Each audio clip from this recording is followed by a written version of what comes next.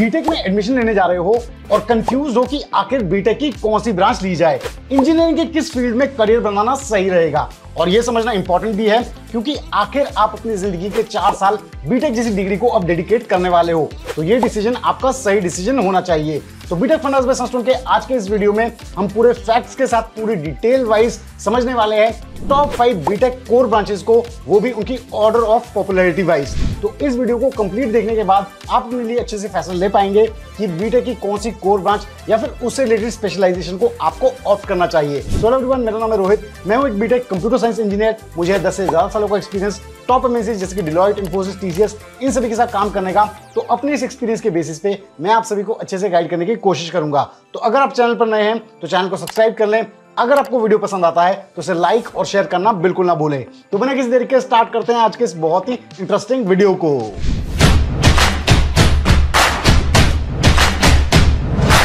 तो स्टूडेंट्स देखा जाए तो आज की डेट में इंजीनियरिंग की 40 प्लस ब्रांचेस और डिसिप्लिन है, जिसके लिए हर साल 10 से 15 लाख स्टूडेंट्स अप्लाई करते हैं through national state level university level entrance examination लेकिन यहाँ पर मैं आपको बताना चाहूँगा कि ये जो सभी स्पेशलाइजेशन है, ये बीटेक की कोर स्पेशलाइजेशन नहीं है, यानी कि कोर ब्रांचेज नहीं है. यहाँ पे जो कोर ब्रांचेस होती है, वो कुछ एक ही होती हैं, जैसे कि civil electrical mechanical computer science जो बाकी सभी ब्रांचेस हैं, वो इनकी डिराइव्ड स्पेशलाइजेशन होती हैं. तो आज हम बात करने वाले हैं top five BTech core branches के बारे में, इनके जो पॉपुलैरिटी है और इनके जो स्कोप है, उसके वाइज तो सबसे पहली टॉप की इंजीनियरिंग कोर ब्रांच आज की डेट में है कंप्यूटर साइंस इंजीनियरिंग अब ये मैं क्यों कह रहा हूँ? ये मैं कह रहा हूँ फैक्ट्स के बेसिस पे। अगर आप सभी बीटेक कॉलेजेस को देखेंगे तो सबसे ज़्यादा जो नंबर ऑफ़ सीट्स हैं, वो कंप्यूटर साइंस इंजीनियरिंग ब्रांच की है आज की डेट में। सेकेंड फैक्ट ये है कि यहाँ पे जो अगर आप कॉलेजेस में देखेंगे तो सबसे ज़्यादा जो कट ऑफ़ जाता है, वो जाता है इसी ब्रांच के लिए, यानी कि सीएससी ब्रांच के लिए। थर्ड चीज़ जो है, सबसे ज़्यादा जो प्लेसमेंट्स होती है कॉलेजेस में बीटेक कॉलेजेस में, वो होती है कंप्यूटर साइंस इंजीनियरिंग स्टूडेंट्स की। फोर्थ फैक्ट ये है कंप्यूटर साइंस इंजीनियरिंग में सबसे ज़्यादा वेराइटी ऑफ़ स्पेशलाइजेशन है, जैसे कि ए हो गया, इसके अलावा साइबर सिक्योरिटी हो गया डेटा साइंस हो गया, ऐसी बहुत सारी स्पेशलाइजेशन सीएससी के इस ब्रांच में है। और इसीलिए सभी जो स्टूडेंट्स हैं मेजोरिटी स्टूडेंट्स हैं, जो बीटेक करना चाहते हैं, वो कंप्यूटर साइंस इंजीनियरिंग को प्रेफर करते हैं। एक कंप्यूटर साइंस इंजीनियरिंग को variety of rose variety of opportunities मिलती हैं, जब वो जॉब में आगे जाता है करियर में आगे जाता है, वो सॉफ्टवेयर डेवलपमेंट साइड जा सकता है टेस्टिंग साइड जा सकता है, इसके अलावा डेटाबेस एडमिनिस्ट्रेशन साइड जा सकता है, नेटवर्किंग हो गया, साइबर सिक्योरिटी हो गया तो ऐसे बहुत सारे रोल्स, बहुत सारी अपॉर्चुनिटीज़ उनके लिए अवेलेबल होती हैं। तो इस हिसाब से अपॉर्चुनिटीज़ वाइज भी सीएससी जो ब्रांच है, ये काफ़ी ज़्यादा डिमांड में है, इसलिए काफ़ी ज़्यादा पॉपुलर है। दूसरी इंपॉर्टेंट चीज़ कंप्यूटर साइंस इंजीनियर्स केवल सॉफ्टवेयर इंडस्ट्री तक सीमित नहीं है आज की डेट में। हेल्थ हो गया बैंकिंग हो गया फाइनेंस हो गया सभी जगह कंप्यूटर साइंस इंजीनियरिंग की रिक्वायरमेंट होती है। तो टॉप इंडस्ट्रीज़ हम जान लेते हैं जहाँ पे कंप्यूटर साइंस इंजीनियर की रिक्वायरमेंट होती है। ये जैसे कि इंफॉर्मेशन टेक्नोलॉजी सर्विसेज़ इंटरनेट हो गया वेब सर्विसेज़ हो गया सॉफ्टवेयर डेवलपमेंट हो गया artificial intelligence and machine learning हो गया साइबर सिक्योरिटी हो गया ऐसी सभी इंडस्ट्रीज़ में कंप्यूटर साइंस इंजीनियर्स की रिक्वायरमेंट होती है। टॉप हायरिंग कंपनीज़ इंडिया में जो कंप्यूटर साइंस इंजीनियर्स को रिक्रूट करती है, उसमें मास हायरिंग करती है, जैसे कि टाटा कंसल्टेंसी सर्विसेज़ होगी इन्फोसिस होगी, इसके अलावा टॉप कंपनीज़ है, जैसे कि अमेजोन हो गया माइक्रोसॉफ्ट इंडिया हो गया विप्रो हो गया। यहाँ पे सॉफ्टवेयर इंजीनियर्स की काफ़ी ज़्यादा रिक्वायरमेंट रहती है। अब हम बात कर लेते हैं एवरेज पैकेजेस की, यानी कि कंप्यूटर साइंस इंजीनियरिंग का एवरेज पैकेज कितना रहता है। एंट्री लेवल पैकेज की अगर हम बात करें तो पाँच से सात लाख रुपए के करीब है। मिड लेवल पैकेज की बात करें तो 10 से 15 लाख रुपए के करीब है और सीनियर लेवल की अगर हम बात करें तो 20 से 30 लाख रुपए के करीब है ऑन एन एवरेज तो आप देख सकते हैं कि कंप्यूटर साइंस इंजीनियरिंग में कितना अच्छा स्कोप है, कितनी अच्छी जॉब अपॉर्चुनिटीज़ है और अच्छे सैलरी ऑप्शन भी हैं। तो स्टूडेंट्स कंप्यूटर साइंस इंजीनियरिंग के बाद जो second most popular core branch of BTech है, वो है मैकेनिकल इंजीनियरिंग तो यहाँ पे मैं आपको बताना चाहूँगा कि जैसे कि पॉपुलर सेइंग है कि without mech there is no tech यानी कि मैकेनिकल इंजीनियरिंग एक बहुत ही इंपॉर्टेंट ब्रांच है। अगर ये नहीं है तो आप बहुत सारी चीज़ें नहीं बना पाएँगे। एक मैकेनिकल इंजीनियर के जॉब रोल्स की अगर हम बात करें तो जितने भी मैकेनिकल सिस्टम्स हो गए, जैसे कि सेंसर्स हो गए टर्बाइंस हो गए रोबोट्स हो गए कंप्यूटर एडिड डिज़ाइन हो गए, और वो सभी डिवाइसेस जहाँ पर मैकेनिकल सिस्टम की रिक्वायरमेंट होती है तो इन सभी को डिज़ाइन करना डेवलप करना, ये सभी जो काम होते हैं, ये एक मैकेनिकल इंजीनियर के होते हैं। अब मैकेनिकल इंजीनियरिंग में जॉब अपॉर्चुनिटीज़ की अगर हम बात करें स्कोप की अगर हम बात करें तो अगर आप देखेंगे तो टॉय से लेकर ट्रांसपोर्ट तक मैकेनिकल इंजीनियरिंग हर जगह काम में आती है। तो यानी कि यहाँ पे बहुत अच्छे करियर ऑप्शंस भी हैं, बहुत ज़्यादा कंपनीज़ भी हैं और जॉब अपॉर्चुनिटीज़ भी है जहाँ पे आप मैकेनिकल इंजीनियरिंग करने के बाद प्लेसमेंट पा सकते हैं। तो जान लेते हैं कौन सी है वो टॉप इंडस्ट्रीज़ जहाँ पर मैकेनिकल इंजीनियर्स की काफ़ी ज़्यादा डिमांड है। तो इन्हें आप नोट कर सकते हैं, इनमें से नंबर वन पे है ऑटोमोटिव इंडस्ट्री सेकंड में है एरोस्पेस इंडस्ट्री थर्ड में एनर्जी इंडस्ट्री फोर्थ में मैन्युफैक्चरिंग इंडस्ट्री और फिफ्थ में है कंज्यूमर गुड्स इंडस्ट्री इन सभी जगह मैकेनिकल इंजीनियर्स के काफ़ी ज़्यादा स्कोप हैं। अब जान लेते हैं कि टॉप कंपनीज़ कौन सी है जो मैकेनिकल इंजीनियर्स को हायर करती हैं।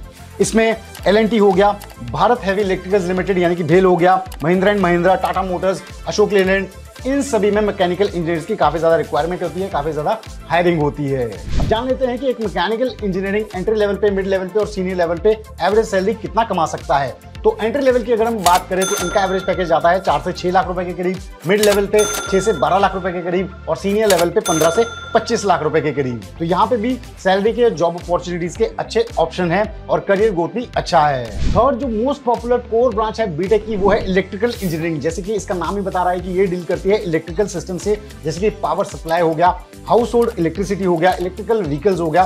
और बहुत सारे इलेक्ट्रॉनिक डिवाइसेज जहाँ पे इलेक्ट्रिसिटी का यूज़ होता है, वहाँ पे भी इलेक्ट्रिकल इंजीनियरिंग काम में आती है। यानी कि ये सभी चीज़ें इलेक्ट्रिकल इंजीनियरिंग के अम्ब्रेला के अंडर ही आती हैं।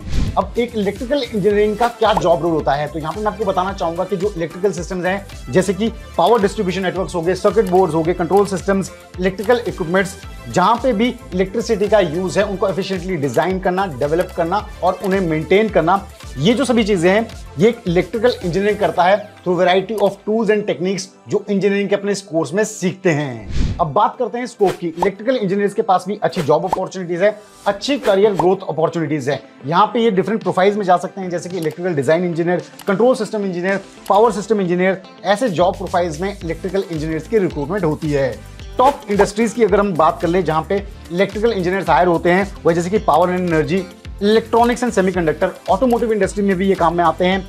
एरोस्पेस एंड डिफेंस इंडस्ट्री में इसके अलावा इंफॉर्मेशन टेक्नोलॉजी एंड टेलीकोम्युनिकेशंस में भी इलेक्ट्रिकल इंजीनियर्स हायर होते हैं। अब इलेक्ट्रिकल इंजीनियर्स की टॉप हायरिंग कंपनीज़ अगर हम देख ले तो इसमें भी भेल है साइमंस इंडिया हो गया लाइन्स इंडस्ट्रीज़ लिमिटेड हो गया टाटा पावर हो गया power grid corporation of India limited हो गया, यहाँ पे इलेक्ट्रिकल इंजीनियर्स हायर होते हैं। अब बात कर लेते हैं इनके एवरेज पैकेजेस की। तो इनका जो एंट्री लेवल पैकेज होता है वो तीन से छह लाख रुपए के करीब होता है। मिड लेवल पैकेज यहाँ पे जाता है छह से दस लाख रुपए के करीब और सीनियर लेवल पैकेजेस यहाँ पे दस से बीस लाख तक जा सकते हैं। फोर्थ जो मोस्ट इंपॉर्टेंट बीटेक की कोर ब्रांच है, वो है सिविल इंजीनियरिंग तो इंफ्रास्ट्रक्चर का जितना भी काम आता है, उसे सिविल इंजीनियर्स हैंडल करते हैं. यानी कि उनको डिज़ाइन करना डेवलप करना मेंटेन करना, ये सभी काम इंजीनियर्स को होता है. इंफ्रास्ट्रक्चर में बहुत सारी चीज़ें आती हैं, जैसे कि बिल्डिंग्स हो गए रोड्स हो गए डैम्स हो गए. इसके अलावा एयरपोर्ट्स हो गए, रेलवे स्टेशन हो गए, ऐसी बहुत सारी चीज़ें जो आपको बनानी है, ये सभी काम करते हैं सिविल इंजीनियर्स। तो टॉप इंडस्ट्रीज़ जहाँ पे सिविल इंजीनियर की रिक्वायरमेंट रहती है, इन्हें आप नोट कर सकते हैं, ये हो गया construction transportation water resources environmental engineering इसके अलावा जियो टेक्निकल इंजीनियरिंग इन सभी जगह सिविल इंजीनियर्स की हायरिंग होती है, इनकी रिक्वायरमेंट काफ़ी ज़्यादा रहती है। नेक्स्ट आप नोट कर सकते हैं टॉप हायरिंग कंपनीज़ जहाँ पे सिविल इंजीनियर्स रिक्रूट होते हैं, यानी कि अगर आप बीटेक सिविल इंजीनियरिंग करते हैं और आप अच्छे से परफॉर्म करते हैं, अच्छे इंटरव्यूज़ क्रैक करते हैं तो आप इन टॉप कंपनीज़ में हायर हो सकते हैं। ये है जैसे कि एलएनटी हो गया हिंदुस्तान कंस्ट्रक्शन कंपनी हो गया टाटा प्रोजेक्ट्स जेपी ग्रुप यहाँ पे सिविल इंजीनियर्स इंप्लॉय किए जाते हैं। Fifth most popular core branch of BTech है इलेक्ट्रॉनिक्स एंड कम्युनिकेशन इंजीनियरिंग तो यहाँ पे मैं आपको बताना चाहूँगा मोबाइल फोन्स हो गए लैपटॉप्स हो गए सेमीकंडक्टर चिप्स हो गई इन सभी की जो डिज़ाइन एंड डेवलपमेंट मेंटेनेंस है, ये जो काम करते हैं, ये करते हैं इलेक्ट्रॉनिक्स एंड कम्युनिकेशन इंजीनियर्स तो स्टूडेंट्स आप सभी देख रहे होंगे कि आज की डेट में हम कितने सारे ऐसे गैजेट्स हो गए, कितने सारे ऐसे कम्युनिकेशन डिवाइसेस हो गए, जिनका इस्तेमाल कर रहे हैं। इनके पीछे जितनी भी टेक्नोलॉजी है, जितना भी इंजीनियरिंग का काम है, ये सभी चीज़ें एक इलेक्ट्रॉनिक्स कम्युनिकेशन इंजीनियरिंग करता है, जो आपको बीटेक में पढ़ाया जाता है। तो यहाँ पे हम जान लेते हैं कि टॉप इंडस्ट्रीज़ अगर कौन सी है? यहाँ पे electronics and communication engineer hire होते हैं। तो ये है जैसे कि telecommunication industry information technology industry consumer electronics industry semiconductor industry यहाँ तक कि डिफेंस एंड एरोस्पेस में भी इलेक्ट्रॉनिक्स एंड कम्युनिकेशन इंजीनियर काम आते हैं। यानी कि काफ़ी अच्छी जॉब अपॉर्चुनिटी है, अगर आप इस ब्रांच से भी बीटेक करते हैं। टॉप हायरिंग कंपनीज़ आप इलेक्ट्रॉनिक्स एंड कम्युनिकेशन इंजीनियर्स की नोट कर सकते हैं। इसमें इंटेल इंडिया हो गया Samsung India Philips India Sony India इसके अलावा एच टेक्नोलॉजीज़ में भी इलेक्ट्रॉनिक्स एंड कम्युनिकेशन इंजीनियर्स की काफ़ी ज़्यादा रिक्वायरमेंट रहती है। तो यहाँ पे हमने पाँच इन बीटेक की कोर ब्रांचेस को डिस्कस कर लिया है। यहाँ पे मैं आपको बताना चाहूँगा कि अगर आप ऑब्ज़र्व करेंगे बीटेक के फ़र्स्ट ईयर में आपको कुछ कॉमन सब्जेक्ट्स होते हैं, जिसमें आपके पास मैकेनिक्स का भी होगा इलेक्ट्रिकल का भी होगा इलेक्ट्रॉनिक्स का भी होगा कंप्यूटर साइंस का भी होगा। तो आप देखेंगे ये जो कोर ब्रांचेस है, इनके सब्जेक्ट्स आपको कॉमनली बीटेक फ़र्स्ट ईयर में पढ़ाए जाते हैं, क्योंकि ये इंपॉर्टेंट कोर ब्रांचेस है, इनकी बेसिक नॉलेज सभी इंजीनियर्स को होनी चाहिए। तो स्टूडेंट्स यहाँ पे हमने डिस्कस की बीटेक की टॉप फाइव कोर ब्रांचेस यहाँ पे मैं आपको बताना चाहूँगा कि इन ब्रांचेस से रिलेटेड बहुत सारी ड्राइव स्पेशलाइजेशन है। तो अगर आप उन स्पेशलाइजेशन में जाना चाहते हैं, उनको ऑप्ट करना चाहते हैं, सबसे पहले अपने लिए इन पाँच कोर ब्रांचेस में से ये डिसाइड कर लें कि आपका जो इंटरेस्ट है, वो किस फ़ील्ड में है। उसके अकॉर्डिंग आप फिर स्पेशलाइजेशन सिलेक्ट कर सकते हैं। तो अगर आपको आज का ये वीडियो इन्फॉर्मेटिव लगा है तो ज़रूर इसे लाइक करें शेयर करें और चैनल को सब्सक्राइब करना बिल्कुल ना भूलें। तो जल्द हम लेके आएँगे बीटेक फंडास पे एक और ऐसा ही डाउट क्लियरिंग वीडियो एक और ऐसा ही इन्फॉर्मेटिव वीडियो तब तक आप सभी अपना ध्यान रखें। State you stay safe and believe in you